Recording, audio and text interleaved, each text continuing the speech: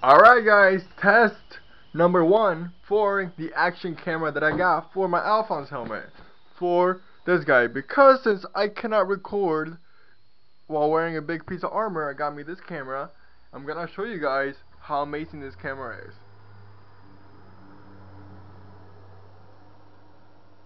Look how tiny this camera is, ridiculous.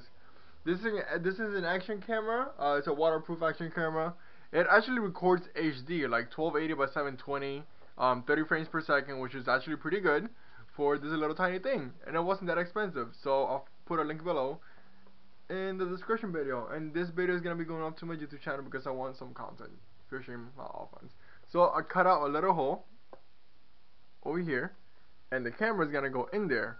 So I'm gonna put the camera in here.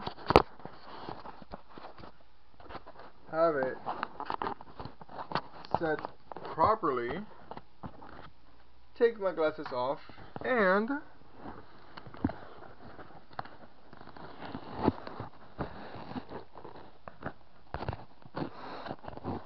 there you go. This is me walking Alphonse.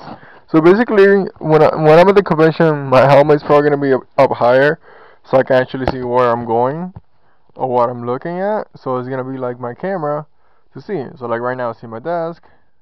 So if I see look, see if so if I grab a mirror and see how it look like. Um, lower that a bit.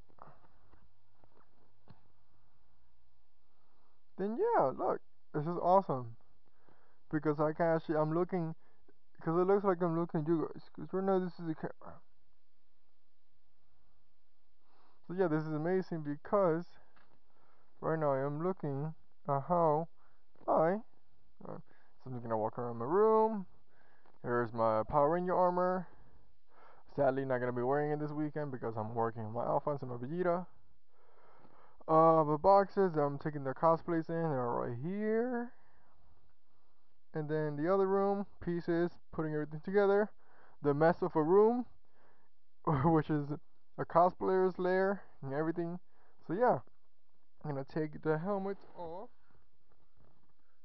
See the camera. Uh huh. What's going on? What's going on? What's going on? What's going on? Yeah. So hopefully you guys enjoyed my uh action camera that I got. It's super cheap if you guys want to do it for cosplay, which I'm gonna be doing. I'm gonna be using it and the camera turns off after a while so I'm gonna have to figure out with the settings.